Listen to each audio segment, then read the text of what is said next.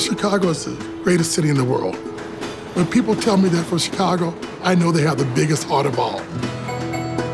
I started Goode Foods in 2003 to bring good nutrition to our community.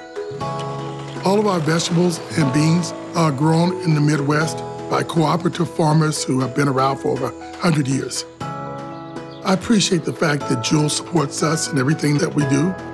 They're an important part of our community. A few years ago, we partnered with Jewel to give away 30,000 cans of Goode Foods beans and vegetables to the Northern Illinois Food Bank, and it was a great, great day for us. We have some corn, avocado. Would you like a sample? Our main focus is to let the people know we're the local guy.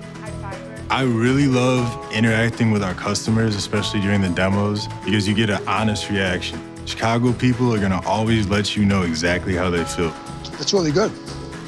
The beauty of what we've created is that there's very simple ingredients, vegetables and water. No sugar added, no sodium added, and even the cans are BPA free. I left corporate America to spend more time with my family and to start this wonderful business. Oh my goodness. That looks wonderful. It was the best decision I ever made. I'm very proud of my dad and what he's been able to accomplish. We built this company brick by brick, and it's amazing to see how far we've come.